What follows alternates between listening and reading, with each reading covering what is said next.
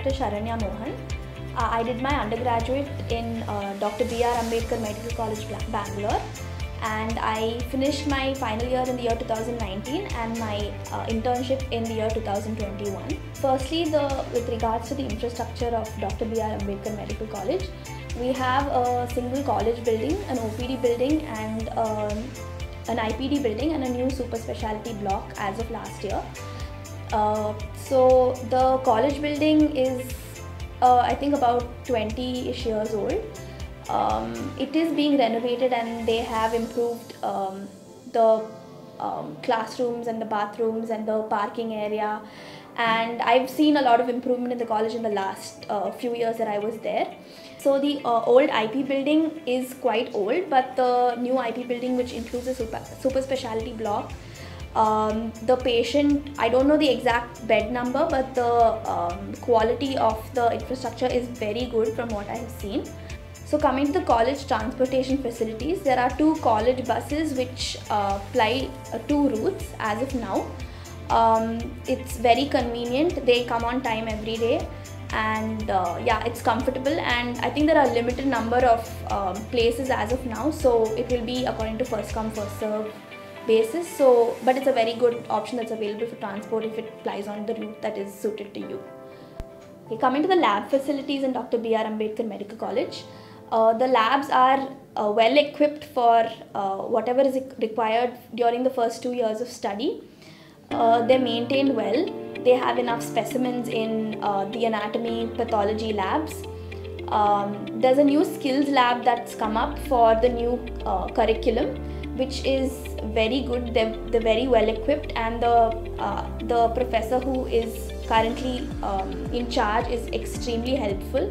So yeah, I would say the lab facilities are uh, quite good in, in this college. So the first two years of study were quite um, one of my best two years actually in this college because um, especially in the first year the because you're entering from your uh, post uh, from your PUC into your uh, your professional course. So the teachers are very understanding. They're very helpful. They um, they realize the uh, how much there is to study. So they they keep keep track of completing the portions, uh, and they conduct um, internal exams at regular intervals so that you are kept up to date with your syllabus and that it doesn't become too much in the end and yeah they they set papers that um, will really help you uh, be ready to face the final exams. And uh, second year it again second year is also um, pretty good because the teachers are they are on top of their on top of the syllabus constantly.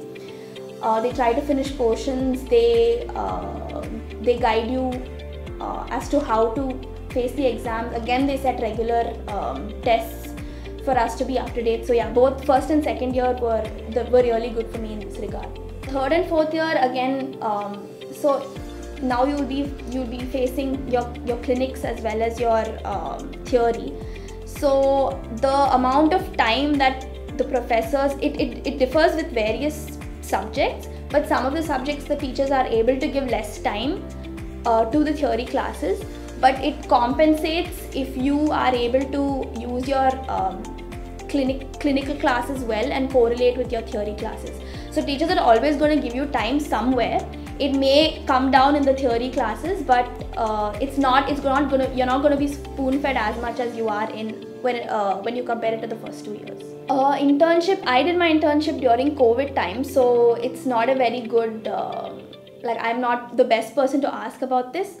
But in spite of doing it in covid in subjects like um, surgery and obg and um, general medicine we did get a lot of exposure.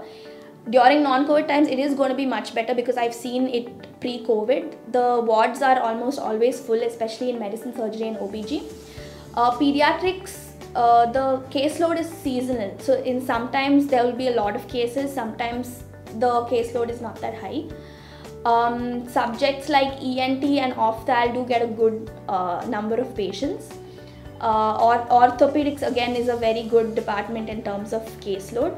So uh, almost all the um, all the departments do get a do get a decent caseload where you get a good enough exposure to uh, patients. We have, um, we have a inter college fest called Synapse, and we have intra college uh, sports fests, and uh, we have other small intra college events that happen now and then everything has to be organized by the students themselves. So the third year students uh, are usually the ones who conduct all these programs. Um, the kind of support we got from the college management during my time there and when we were organizing our um, extracurricular activities was very good. Um, you for the fest most of it is self you have the students have to fund it themselves and you have to take um, help from sponsors a part of it will be funded by the um, college itself. We have at the end of your course you will have a graduation ceremony which again is mostly funded by the students themselves and partly by the college. And almost everything is usually handled entirely by the student body. We, and we have some very supportive uh, staff members and we have a cultural secretary and a sports secretary who are always um, willing to help the students out with whatever we ask. Uh, i think I mean, of course, you know that there are better colleges that everybody tries for, especially government colleges and other private colleges with better caseloads. But uh, I would say that I've had a very good experience here. Ultimately, it, it comes down to you and what, uh, how you make use of the facilities available here. But I think it's if you do get if you do get into Ambedkar, it's a good place to go to. Uh, like, share, and subscribe to Medical Mentor.